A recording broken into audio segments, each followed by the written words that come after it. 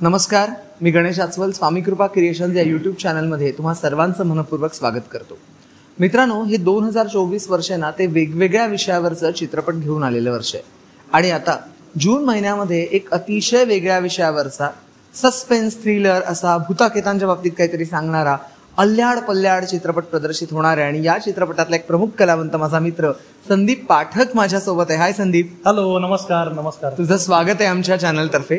आणि एकंदरीतच अल्ल्याड पल्ल्याड आपण पोस्टर बघतोय मग अशी ट्रेलर लॉन्च बघितलं. तर नेमकी काय तुझी भूमिका जी तुला आमच्या प्रेक्षकांना सांगावीशी वाटेल? एकतर अं, तुझं मनापासून अभिनंदन की तू तुझं हे नवीन चॅनल नवीन. केलंय. आणि मला चॅनलचं नाव खूप आवडलं. स्वामी कृपा. माझी सुद्धा खूप श्रद्धा आहे स्वामींवर गजानन महाराजांवर. त्यामुळे हे चॅनल जे आहे ते तू चालू ठेवस.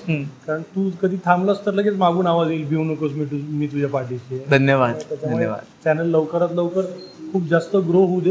कारण तुझ्याशी इंटरॅक्ट होताना खूप छान वाटतं. काहीतरी अभ्यासपूर्ण प्रश्न येतात उत्तर आता अल्याड पल्याडबद्दल हो. की तू जसं म्हणालास तसं की अनेक वेगळ्या प्रकारचे सिनेमे मराठीमध्ये येत आहेत. हा चित्रपट चौदा जूनला येतो आहे वेगळ्या प्रकारचा जॉनर आहे म्हणजे कॉमेडी आहे थ्रिलर आहे हॉरर आहे हे सगळं एकत्र लोकांना बघायला मिळणार आहे. आणि मला नेहमी असं वाटतं की मराठीमध्ये हे झालेले आहेत प्रयत्न. पण हा प्रयत्न वेगळा ह्यासाठी आहे की बीजीएम मला सगळ्यात महत्वाचं वाटतं. किंवा. लोकेशन्स आहेत सिनेमॅटोग्राफी आहे. तर त्याला इतकं वेगळं महत्त्व दिलेलं आहे. बिकॉज ऑफ प्रोड्युसर चांगले पाठीशी होते. लागू दे म्हणाले. दिवस चार दिवस एक्स्ट्रा लागले तरी हरकत. नाही. तुला जसं हवंय तसं शूट कर. हा डिरेक्टरच्या मागे प्रोड्युसर उभा असणं खूप महत्वाचं आहे. कारण हॉटेल पासून लोकेशन अडीच तास तीन तास अच्छा. आणि आतमध्ये सिंगल रूम बरोबर. तिथे गेल्यावर आम्हाला असं कुठे जातोय? रेंज नाही. तिथे गेल्यावर असं वाटायचं की यार लोकेशन आहे यार. हे काय दिसेल सिनेमामध्ये. आणि मराठी सिनेमामध्ये बरेचसे नोन लोकेशन झाले. ते लोकांनाही माहिती माहिती आहेत बरोबर. हे कोकणामध्ये इतके सुंदर सुंदर लोकेशन्स आहेत. आणि इतके भीतीदायक सुद्धा आहेत हो. की अनटच लोकेशनवर आम्ही शूट केलंय. हो.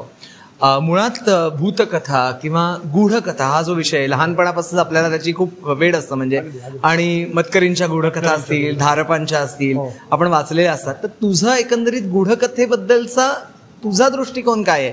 ते सुद्धा आमच्या प्रेक्षकांना सांग. अगदी. मला मी फार आकर्षित नाही झालो. मला ऑडिओ व्हिज्युअल वाईज मला सस्पेन्स थ्रिलर जास्त आकर्षित करत.